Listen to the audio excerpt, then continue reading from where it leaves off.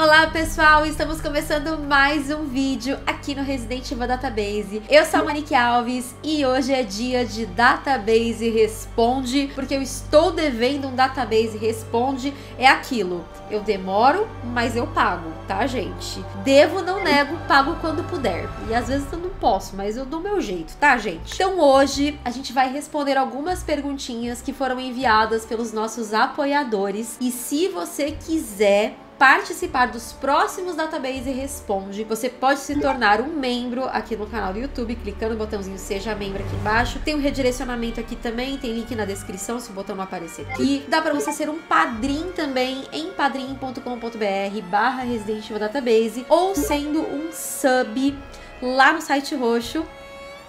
Por quê, né? Por que, que eu falo site roxo? Virou piada interna do canal, mas enfim. Vocês também podem ser subs lá no site roxo para vocês poderem participar. Lembrando que eu sempre posto o link do Database Responde, lugar para vocês enviarem as perguntas no nosso grupo secreto do Telegram, que é só para apoiadores. Então, para você participar, além de ser um apoiador, também tem que estar no grupo do Telegram para receber o link uh, do formulário do Database Responde, beleza? Então vamos começar aqui as nossas perguntinhas que os nossos apoiadores mandaram. A primeira pergunta que eu vou responder é do Ma Database. E ele perguntou: Moni, você acha que esse novo ano ainda teremos mais coisas relacionadas a Resident Evil além da série da Netflix? Então, gente, é essa, é, esse database responde, ele é do comecinho do ano, tipo, comecinho, né? Tô fazendo agora, dia 28 de fevereiro, que é a data da gravação, mas eu acho né? Se não tiver ainda saído nada, né? Até o momento de sair esse vídeo. A gente tem a DLC do Village ainda pendente. A gente tem o Reverse ainda pendente, que é aquele multiplayer que ninguém pediu, né? E eu acho que a gente vai ter o anúncio, sim, do Resident Evil 4 Remake esse ano. O anúncio, para sair no ano que vem. Eu até falei sobre isso naquele vídeo, né? Que é, eu falei do que, que vai ter de Resident Evil para 2022 e tudo mais, então é, eu falei um pouco sobre isso, mas esse negócio do Resident Evil 4 Remake é um achismo meu, né? Eu não, não sei se vai ter mesmo, mas eu acho que pelo menos um anúncio deve ter. Né? Eu acho que pelo menos um anúncio a Capcom deve fazer sim. E ainda dentro desse foco de coisas que eu já falei no começo do ano em vídeos, né? O Gilvan Camil perguntou, falou: "Minha pergunta se refere mais a você, os projetos pro database nesse novo ano. Beijão e feliz ano novo." Mais sucesso ainda para você. Muito obrigada, Gilvan. Então, eu gravei um vídeo também falando sobre isso. Então eu vou deixar os links, né, desses vídeos aqui nos cards para vocês. Mas eu também falei do que eu tô esperando, né, para 2022 pro database, coisas que eu quero fazer. E basicamente eu quero, tô tentando coisas novas, já devem ter percebido aqui no canal que eu tô tentando coisas novas e lives também, principalmente lá no site roxo. A gente tá fazendo coisas novas, jogando mais jogos relacionados lá deixando para jogar Resident Evil aqui. No momento da gravação desse vídeo, a gente tá meio que numa maratona aqui no YouTube de lives, né? De zerar as versões dubladas, né? Eu fiz até uma playlist, que também vou deixar o link aqui nos cards para vocês, da gente jogando essas, essas versões, né? E já jogamos até a gravação desse vídeo, Resident Evil 1, Resident Evil 2 dublados e provavelmente é, até o vídeo sair a gente já vai ter jogado 3 dublado também. É isso, né? Por enquanto. Eu tenho muitas Todo ano, gente, eu, eu invento de fazer um monte de coisa. E não sai tudo que eu queria. Mas é aquilo, né? A gente cria um monte de metas e é normal isso, né? A gente criar um monte de meta e não conseguir realizar tudo. Mas tudo bem, o importante é realizar uma ou outra ali. Eu acho que eu considero muito mais importante do que fazer um monte de coisa tudo mal feito. Eu faço mal feito também, né? Mas é isso, pelo menos tá fazendo. Gente, 2022, depois de 2020 e de 2021, claro, né? Mas assim, depois do que aconteceu nesses anos, é aquilo, a gente só tá sobrevivendo mesmo, não é? Leonardo Ferreira perguntou: qual item da coleção de Resident Evil que você tem um desejo enorme de adquirir? Gente, eu queria muito, muito, muito, muito, muito a edição de colecionador do Resident Evil Village. Porém, eu não vou fazer essa loucura porque eu já fiz duas loucuras. Eu fiz a loucura de comprar a edição de colecionador do Resident Evil 2 Remake, que já foi uma loucura, porque já saiu meio caro, né? Porque no total, no total, somando tudo, o valor total deu dois mil reais, tá? Mas a do 3 foi pior. Porque eu comprei pelo Tchan da Mia. Eu até contei para vocês, né? Eu fiz um, um unboxing em live aqui. E aí eu paguei taxas muito altas. Então, assim, foi. Saiu muito mais do que dois mil reais, sabe? E aí, gente, do, do Village não tá dando. Não tem condição, sabe? É muito caro. Eu vi vendendo por R$ 2.400. Aí vai ter, vai ter a, as taxas ainda, com certeza vai ser taxado. Vai sair muito caro, vai sair muito caro essa brincadeira. Então, infelizmente, eu agora tô na espera, né, de sair aí uma versão réplica, né, uma réplica paralela, né, da estátua do Chris para poder comprar a réplica mesmo. Pelo menos ter a estátua do Chris, porque foi o que me sobrou. Então, se você souber onde tem a réplica da estátua do Chris, me manda aí nos comentários, por gentileza. Muito obrigada. O Esdras Regis perguntou o seguinte: Existe alguma menção da irmã do Wesker em algum jogo antes dela aparecer no Revelations 2? E a resposta é que sim, Esdras. A Alex Wesker, ela foi mencionada no Resident Evil 5, no capítulo extra Lost in Nightmares, né, que é aquele capítulo que foi lançado na Gold Edition, depois ele foi ele foi lançado como DLC, basicamente. Depois ele veio na Gold Edition, né? Na, na, na, versão completa do Resident Evil 5, né? Então, sim, Alex Wesker já tinha sido mencionada antes. A questão é que, na verdade, a Alex Wesker, ela nunca foi planejada tipo, para cobrir o espaço do Wesker. Ela foi planejada depois, porque a galera não reagiu bem à, à morte do Wesker. Acredito eu que tenha sido. Veio depois isso aí, sabe? Assim como o Jake também, né, gente? Então, é, foi meio que um tapa-buraco na real, na real, vamos, vamos falar bem a verdade, gente. A Alex Wesker, ela foi um tapa-buraco na franquia para tapar o buraco que o Wesker deixou, tanto o Jake quanto ela, né? Então eles abriram ali o caminho na DLC do Resident Evil 5, no Lost in Nightmares, para ela aparecer depois no Resident Evil Revelations 2. Mas planejado, planejado, não estava. E tá tudo bem também, tá tudo bem. As coisas nem sempre são planejadas. O próprio Wesker era para ter morrido no Resident Evil 1. E ele volta no Code Verônica, né? Então, eles deram um jeito de, ah, ele forjou a morte para poder trabalhar nas sombras e tudo. Que a Capcom também nem sabia que Resident Evil ia ter uma continuação. Então, assim, essas coisas elas vão sendo construídas, né? Então, tá tudo bem. Agora, eu acho que a Capcom ela já tem muito tempo de franquia para ela parar de ficar criando coisa do acaso. Né? Eu acho que ela teria que ter um planejamento sim a franquia. E a gente viu isso também com o Village, né? Que o Village ele foi total improvisations também, né, gente? A próxima pergunta que eu vou responder aqui é do Nuno. E ele falou: Moni, na tua opinião, qual o jogo da franquia que teve o maior desperdício de potencial? Ai, Nuno, olha, na real a gente tá vendo muito desperdício de potencial em vários jogos. Eu não vou nem colocar remakes aqui, tá? As reimaginações. Para mim foi o Village. O Village ele foi um desperdício de potencial, tanta coisa que poderia ter sido explorada. Eu não sei ainda o que, que vai ser essa DLC, pelo menos até o momento dessa gravação, né? A gente não sabe do que, que vai ser a DLC. Mas a verdade é que a Dimitrescu foi desperdiçada porque ela caiu nas graças da internet, mas acabou que ela era a primeira das lords né? A história toda ali, é, cara, eu acho que essa história do Ethan, ela é muito legal, mas ela deveria ser um spin-off. Não deveria ser a continuação dos acontecimentos da franquia, porque é a história dele. Não é a história do bioterrorismo e da luta contra o bioterrorismo, sabe? Lembrando, gente, que é a minha opinião, tá? Então, assim, eu tô dando a minha opinião no meu canal, eu não tô querendo ofender ninguém aqui, eu não tô falando que o jogo é ruim. Eu só acho que ele tem mais carinha de spin-off, spin-off canônico, é óbvio, do que de um jogo da série principal, sabe? Que tem que contar ali a história da BSAA, né? Dando continuidade ali à história da BSAA. Meu, cadê a Umbrella? A Umbrella voltou e não, não foi falado isso, sabe? Como assim? Como não falaram da Umbrella, sabe? Da, da New Umbrella, da Umbrella Azul. Ah, teve um negócio que. Ah, criaram a Eveline lá, a conexões com a HCF. Cadê isso? Isso foi deixado totalmente de lado. Então, assim, eu acho que teve muito potencial desperdiçado no, no Resident Evil Village. A parte de desenvolvimento de história, é, dos personagens também, uh, das bruxinhas ali, ficou tudo meio mal explicado, tudo meio jogado. E, como eu disse, na minha análise, ficou no nível do só aceita, sabe? E isso pra Resident Evil antigamente não era assim. Então, assim, eu não consigo aceitar.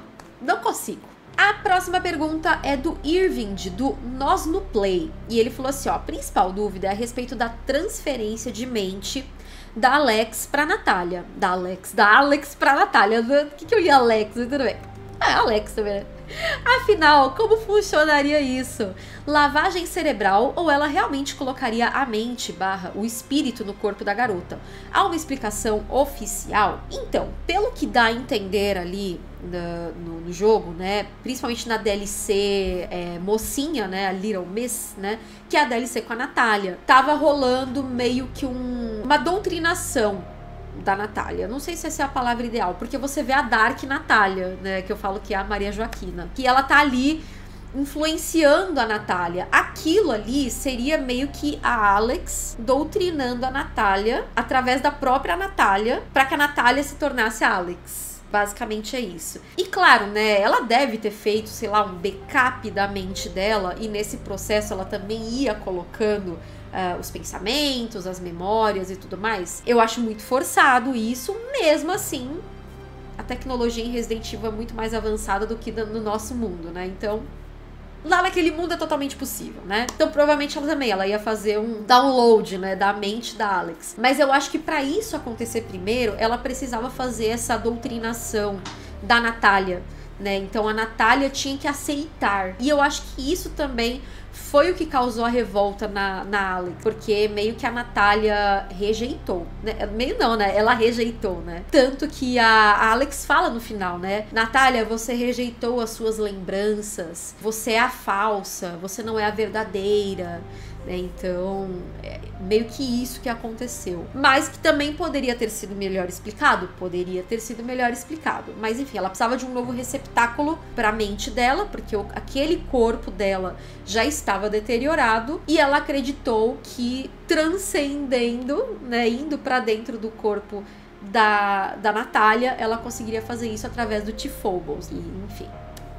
Mas é isso. Eu acho que tem que ter essa doutrinação primeiro para depois descarregar as memórias, né? Fazer o download ali das memórias da Alex. Mas depois a gente vê que no final deu certo, né? No epílogo do final verdadeiro, do final bom, bom, deu certo, né? Porque a gente vê que a Alex tá despertando sim dentro da Natália. A próxima pergunta é do Lucas Dreister. Ele falou: por que o Leon não foi ajudar a Claire no Code Verônica, já que ela pediu socorro e mandou a mensagem pro Chris? Eu acredito que o Leon não foi porque ele estava sendo monitorado bem de pertinho, todo o treinamento dele, né, toda a admissão dele no governo americano. Aí ele mandou a mensagem pro Chris, eu acho que ele Bom, ele conseguiu, né, rastrear o Chris, né, porque ele já estava no governo americano e é basicamente isso. A Claire podia ter pedido antes, né? Essa ajuda pro Leon, né? Antes dela se infiltrar numa base da Umbrella, sem nenhuma noção de estratégia do espanhol. Estratégia? Do inglês. Strategy.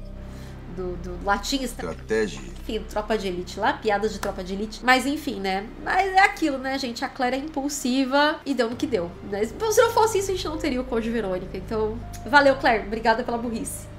Valeu pelo seu orgulho, valeu pela impulsividade. Parabéns. A próxima pergunta é do Eric. Você já pensou em lançar um livro contando toda a história de Resident Evil? A gente meio que já tem isso, né, gente? A gente já tem no nosso site, que é o residentivildatabase.com. Lá a gente tem a linha do tempo completa da franquia. Uh, a gente tem também perfis dos personagens, onde você encontra a história toda é, desses personagens especificamente. Então, a gente meio que já tem isso. O site não está completo ainda, porque ele está em eterna construção, porque só sou eu que escrevo para ele, né? Então, às vezes eu fiquei esperando também a dona Capcom lançar informação oficial para eu colocar bonitinho lá no site. Mas não, ela consulta a Wikipedia. Então, vou começar a consultar a Wikipedia também, né, gente? Porque a Capcom não me ajuda, a Capcom me ajuda a te ajudar. Mas enfim, eu pretendo sim lançar um livro, não vai ser contando toda a história de Resident Evil, porque isso a gente já tem no nosso site, que é o residentevil.database.com, mas vem aí em breve, tá, gente? Fiquem ligados, porque em breve teremos novidades aí sobre o meu livro e de outras coisas também, mas tudo no seu tempo, tudo no seu tempo. Gente, a última pergunta que eu vou responder desse vídeo da Database Responde, porque vocês mandaram bastante pergunta, tá? Os nossos apoiadores maravilhosos mandaram muitas perguntas.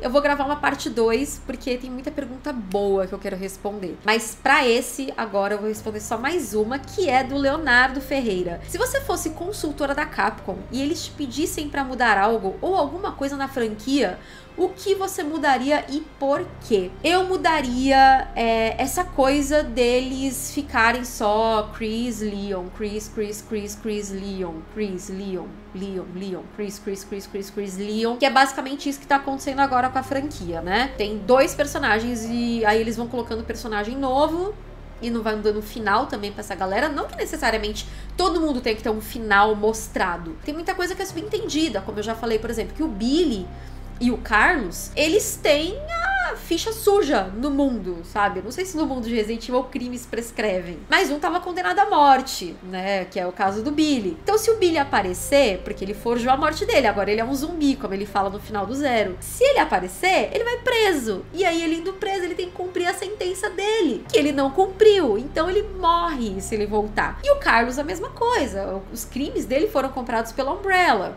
Aí a Umbrella acabou. E aí?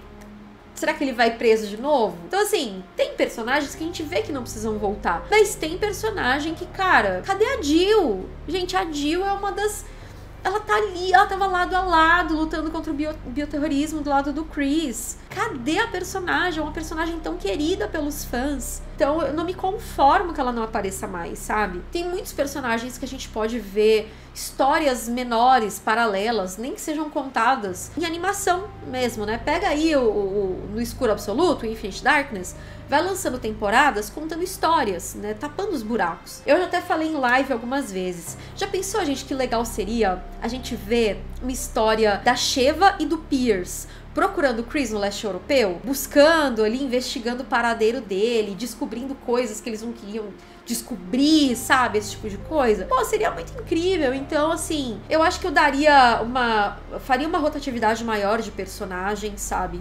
Eu ia contando outras histórias. Histórias que não foram terminadas de serem contadas. Revelations 1 deixou gancho, Revelations 2 deixou gancho. E esses ganchos nunca são contados. Então eu acho que seria legal a gente ter essa, esse revezamento, né? E contando essas histórias, porque Resident Evil tem muito personagem bom que tá no limbo. Bom, gente, essas foram as perguntas deste Database Responde. Eu espero que vocês tenham gostado das respostas. Comenta aqui embaixo o que vocês acharam desse vídeo. Comenta aqui se você pensa diferente de mim em alguma dessas perguntas que eu respondi, ou se você concorda comigo, enfim, deixa tudo aí nos comentários que eu quero saber. E se você não é inscrito ainda no canal, se inscreva, aperta no botãozinho vermelho, inscrever-se aqui embaixo, aqui embaixo, deixa eu ver aqui no meu retorno, está aqui embaixo. Tá aqui embaixo, é aqui mesmo, ó, então clica aqui, tá? Já se já se inscreve no canal, ativa as notificações, deixa o like nesse vídeo também, porque me ajuda muito. Gente, o YouTube valoriza o like. Se a firma valoriza o like, quem sou eu para dizer, não, like não importa, importa, gente. Então, deixa bastante like, comenta bastante também, pra gente poder alcançar mais pessoas com esse vídeo. Eu vou ficando por aqui. Um beijo para todo mundo, até o próximo vídeo e tchau!